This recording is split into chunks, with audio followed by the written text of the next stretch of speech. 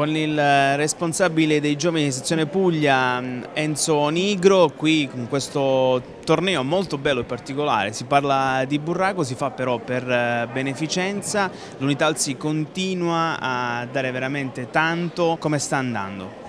Ma sta andando penso abbastanza bene, innanzitutto devo fare i complimenti al gruppo di Ostuni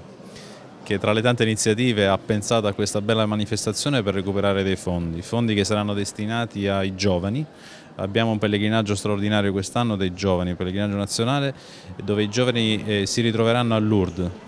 E sarà un'esperienza straordinaria, un'esperienza, un pellegrinaggio a dimensione di giovani e quindi come tutte le cose i giovani vanno stimolati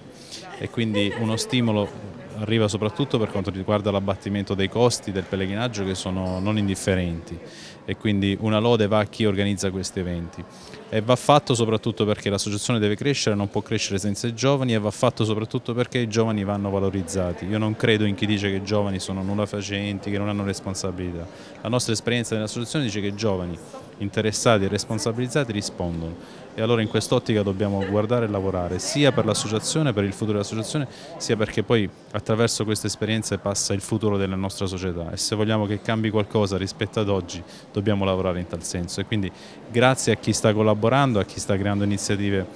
che, che supportano questo, questo pellegrinaggio dei giovani e soprattutto l'associazione in generale in tutto l'arco dell'anno.